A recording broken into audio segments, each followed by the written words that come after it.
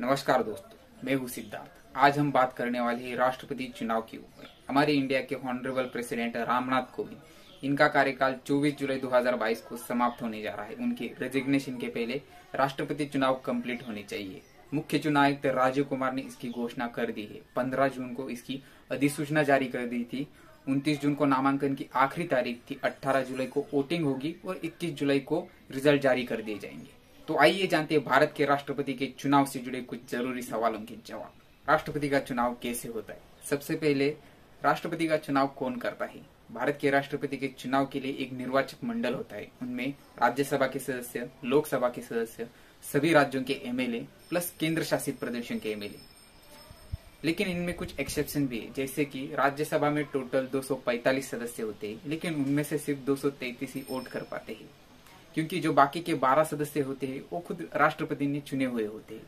और सब लोगों की बात करें तो लोकसभा के 543 प्लस राज्यसभा के 233 और प्लस सभी राज्यों के और केंद्र शासित प्रदेशों के टोटल एमएलए मिलाकर हुए 4116 इसका मतलब भारत के राष्ट्रपति के चुनाव में टोटल चार हज़ार आठ सौ बानवे सदस्य हिस्सा लेंगे। भारत के राष्ट्रपति का चुनाव कब होता है? राष्ट्रपति का चुनाव वर्तमान राष्ट्रपति के कार्यकाल के समाप्त होने से पहले कराया जाता है। वर्तमान राष्ट्रपति के कार्यकाल के अंतिम साठ दिनों में चुनाव की प्रक्रिया पूरी होनी चाहिए। चुनाव का कार्यक्रम इस प्रकार से नियुक्त किया जाता है कि नया राष्ट्रपति, पुराने राष्ट्रपति के कार्यकाल की समाप्ति के अगले ही दिन से अपना काम शुरू कर दे। हर पाँच साल 25 जुलाई को ही भारत के नए राष्ट्रपति शपथ लेते हैं। ये सिलसिला 1977 से चला आ रहा है। अगला सवाल है कौन लड़ सकता है राष्ट्रपति का चुनाव?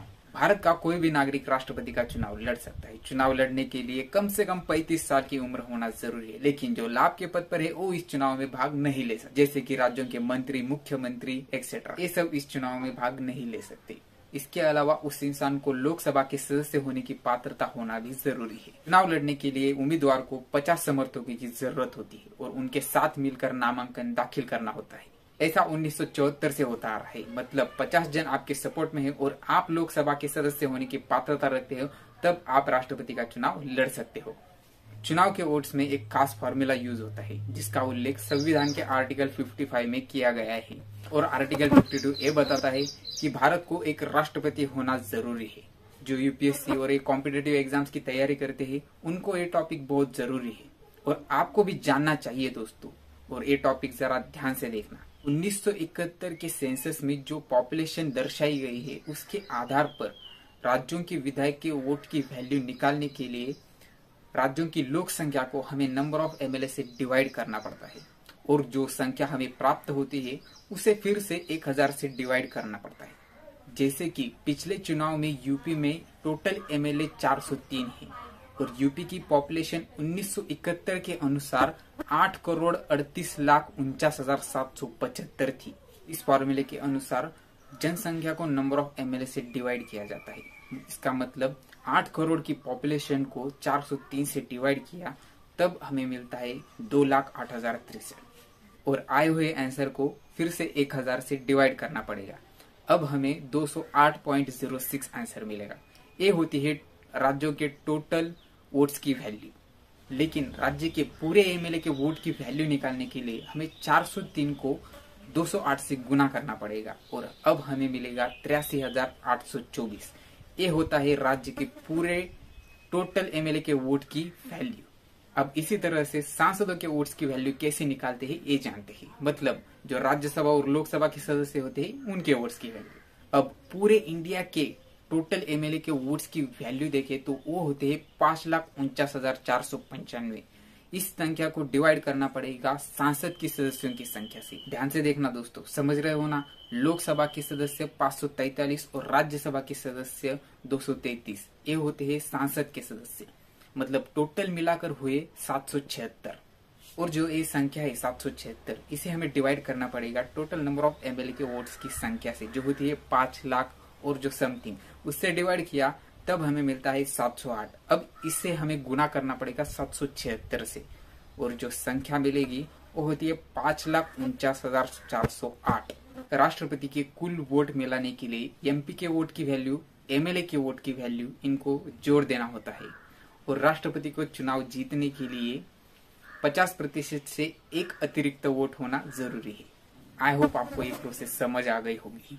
राष्ट्रपति पद के बारे में कुछ फैक्ट्स बताता हूँ। सबसे पहले राष्ट्रपति राजेंद्र प्रसाद और सबसे पहली महिला राष्ट्रपति प्रतिभा पाटिल और सबसे पहले मुस्लिम राष्ट्रपति थे जाकिर हुसैन। और राजेंद्र प्रसाद जो है, वो इंडिया के तीन बार राष्ट्रपति बन चुके हैं। अब मेन सवाल पर आते हैं, जो है, कौन होगा भारत का अगला राष्ट्रपति?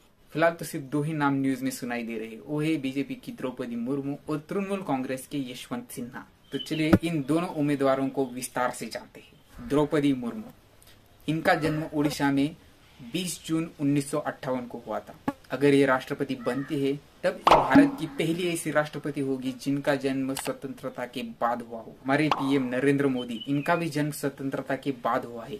मतलब एक फैक्ट बन रहा है, भारत के दोनों टॉप के पोस्ट राष्ट्रपति और प्रधानमंत्री, दोनों का जन्म स्वतंत्रता के बाद हुआ है।